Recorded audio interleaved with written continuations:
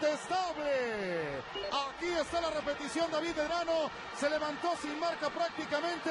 Un remate poco ortodoxo, pero eficiente al fin y al cabo. Y con esto se abre el marcador aquí en el Miguel Hidalgo de Pachuca. Una buena jugada de táctica fija de América. Tiran la pelota. Desde la primera del encuentro, del primer instante fue este balón. La pelota que no aprovecha Raúl Jiménez disparó hacia un costado. Y esta fue la más clara del Pachuca, un disparo que pega en el travesaño.